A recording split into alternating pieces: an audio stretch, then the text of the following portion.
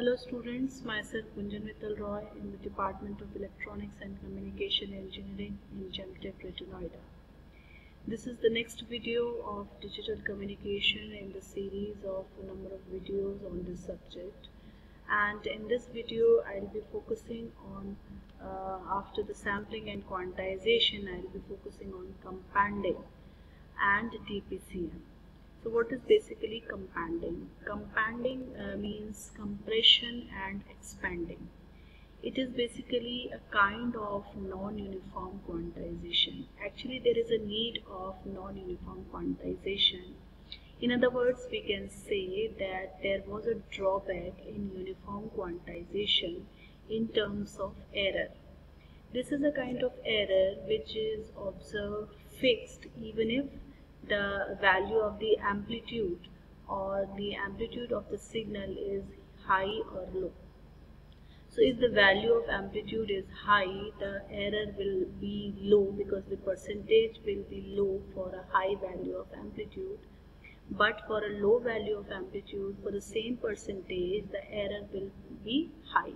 So the amount of error will vary depending on the amplitude value of the signal although the amount in percentage is fixed, the error in percentage is fixed, but the same value or same percentage of error for different values of amplitude will reflect differently in a way that for the large amplitude voltages, the error value will be less compared to the um, error for small amplitude voltages.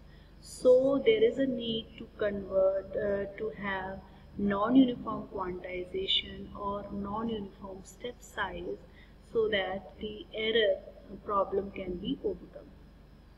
So this can be done by using companding. In companding, we do not use non-uniform quantizer, rather we use the same uniform quantizer but along with that we use two extra components which are compressor and expander. In the beginning uh, we use compressor or expander and then we use quantizer which is a uniform quantizer. And at the last if we have used compressor in the beginning we will be using expander. Or if we have used expander in the beginning we will be using compressor.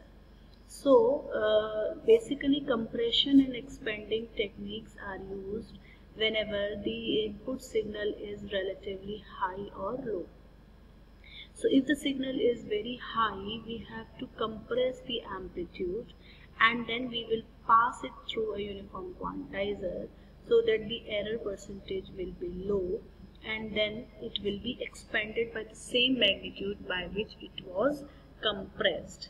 In a similar way, if it is of a low amplitude, it will be expanded first and then it will be passed through a uniform quantizer and finally it will be compressed by the same magnitude by which it was expanded in the beginning so that the problem of noise or crosstalk is reduced.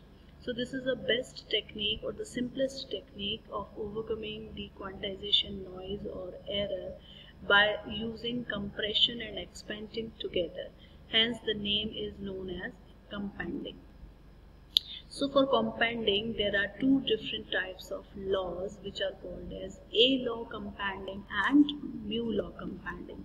In case of A law companding the law is uh, used in uh, different part of the words for telephonic PCM system. And A law has mid-rise at the origin hence it contains a non-zero value. And uh, when A is equal to 1 it shows a linear uh, behavior. That means no compression is done. No compression technique is followed uh, in case of a mu law, when mu equal to 0, it shows linear response and it shows that there is no compression technique used. So uh, in case of mu law, the mid tread is at the origin, hence it contains a 0 value. So mu law is used for companding speech signal and music signal and it is used in North America and Japan whereas A law is used in Uh, um, uh, United uh, Kingdom and Asian countries. For the samples that are highly correlated when encoded by PCM technique leave redundant information behind. So when they are highly correlated, and now we come to our next technique which is called as the DPCM or differential PCM. What is this technique? Basically there is a drawback in PCM system that it requires a high bandwidth. A large number of bits are required to be transmitted to have a proper communication. And this large requirement of bandwidth results in uh, huge uh, uh, money requirement and wastage of resources, channel, bandwidth. So a lot of drawback is involved when there is a large requirement of bandwidth. So to overcome this problem of bandwidth requirement, a new technique which is called as differential PCM technique is used. In this technique, uh, we use the concept that the close, close samples or close signals are highly correlated. The correlated means they have almost similar values and because of that they have a large number of redundant bits. Redundant information is for example if a uh, first sample has a code of 0110 and the next sample value is 0111 so the first three bits that is 011 are uh, redundant bits so instead of sending all the 4 bit in next term, we can use a technique where we will be sending only the difference between the two bits. Uh, so it will uh, provide the saving of bandwidth. So in this technique, the, as the name is suggesting, differential PCM, the difference between the two samples is transmitted rather than sending the value of the next sample. So this will allow the saving of bandwidth, which is the drawback of a conventional PCM system.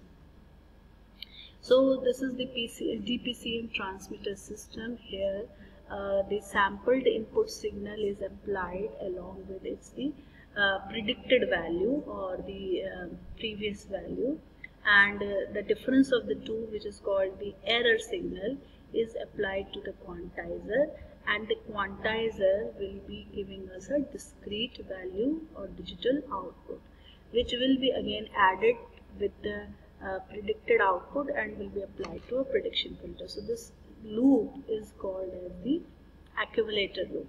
So here XNTS is showing us the sampled value and XCAP NTS is depicting the predicted value. E is the difference between the two sampled values, the two values X and XCAP and UNTS is the prediction error or quantized error.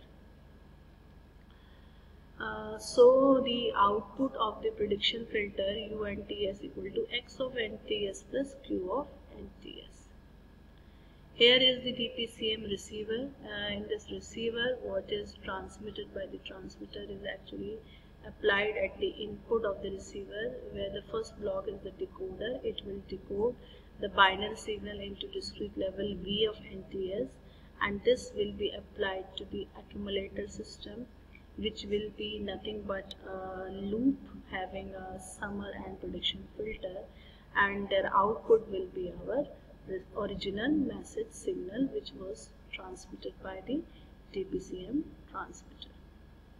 So the notation of the signals is the same as the previous ones. In the absence of noise, the encoded receiver input will be the same as the encoded transmitter output.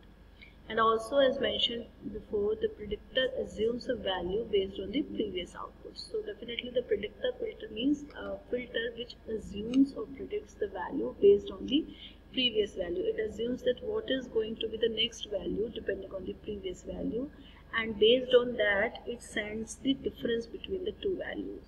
So mm, the given out, uh, the input given to the decoder is processed and that output is summed up and the output of the predictor uh, to obtain the better output.